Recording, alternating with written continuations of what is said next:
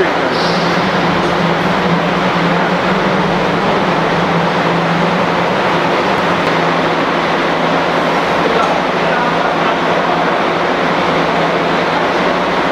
Ee, Son hazırlık maçımızı oynadık Göztepe ile. Ee, lige bir hafta kala en azından takımımızdaki eksik yönlerimiz, artı yönlerimiz, güçlü yönlerimizi görmeye çalıştık.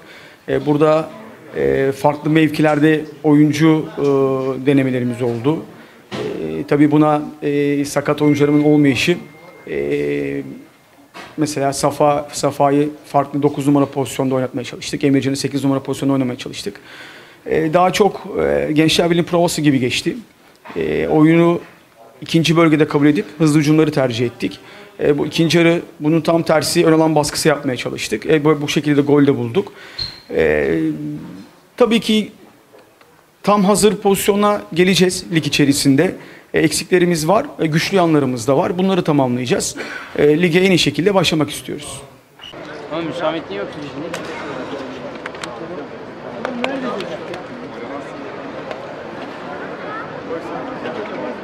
Ya,